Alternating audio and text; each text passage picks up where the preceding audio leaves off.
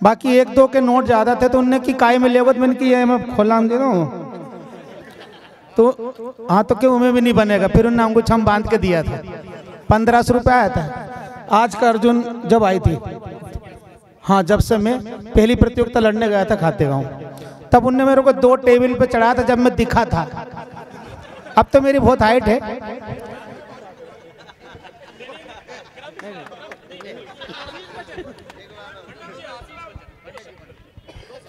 बोले, काली मैया की जय। बहुत सुंदर आयोजन आप सभी वरिष्ठ जनों ने, हमारे विधायक जी और भी मैं, जिला पंचायत सदस्य अध्यक्ष और सरपंच अलग अलग क्षेत्रों अलग अलग गाँवों से आप पधारे हैं। बहुत बड़ी उपलब्धि है कि मतलब इस कलयुग में राम सत्ता, ये आपके बैतूल क्षेत्र को, संपूर्ण मध्य प्रदेश वाले धन्यवाद देना चाहिए आपके ज़िले को। कि यहाँ वहाँ अवनरत कंटिन्यू राम सत्ता प्रत्येक गाँव में देखने को मिलती है। तो यही तो राम राज्य है। जी तो सभी को बहुत बहुत धन्यवाद। बहुत अच्छा लगा माँ के दरबार में आकर और आप सब लोगों से मिलकर। मुझे बहुत अच्छा लगा और भजन गाने का जो सौभाग्य मिला, आप सब लोगों आशीर्वाद मिला। इसलिए मैं सह दिल से आपका आभार व्यक्त करता हूँ। जय जय सीताराम। हेलो। आज इस मंच के माध्यम से माता महाकाली के दरबार में। यूट्यूब वाले भैया, इस बात को आप कैच करो और सारे मध्य प्रदेश में दिखाना। मुझे ये बात कहने में कोई संकोच नहीं है कि आदरणीय मेरे परम सम्मानीय बड़े भैया शंभू भैया यहाँ खड़े हैं। मुझे राम सत्ता की दुनिया में लाने वाले शंभू भैया हैं। मैंने इनके साथ बैतूल ज़िले में कोरस करके गाना सीखा है।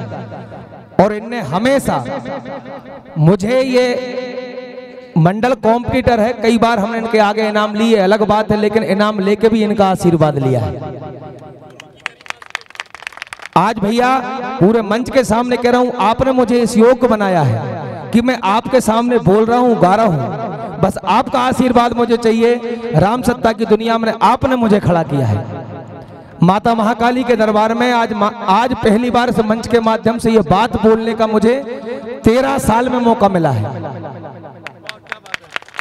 तेरह साल में आज तक किसी मंच पे ये बात कोई पूछता नहीं है तो हम बताते नहीं है।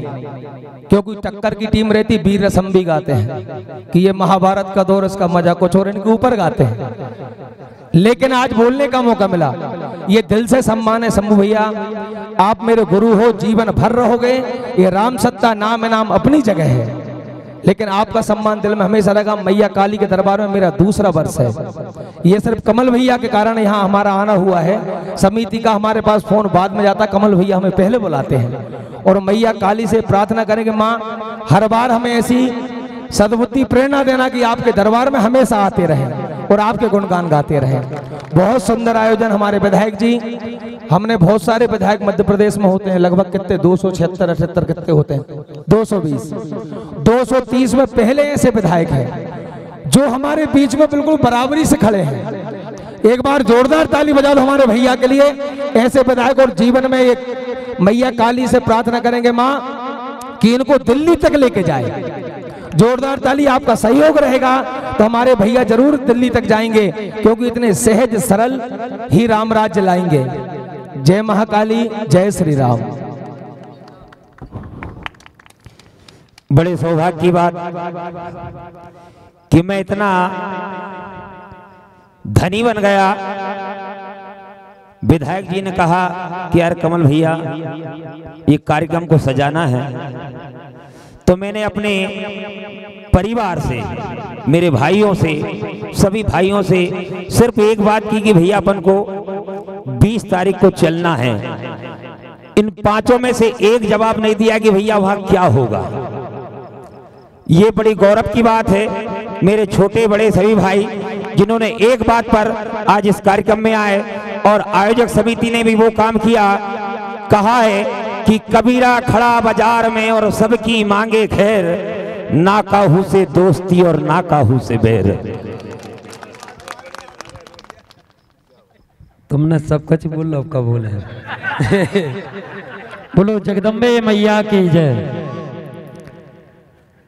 प्रिय सज्जनों, बड़े सौभाग्य की बात, आज मैया काली के दरबार में हम सबको भजन गाने का अवसर प्रदान हुआ है।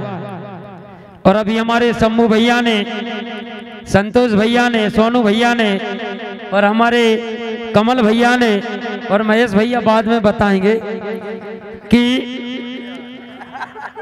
हमारे विधायक जी को इतना ऊँचा पहुँचा है माँ कि बहुत ऊपर चले जाएँ।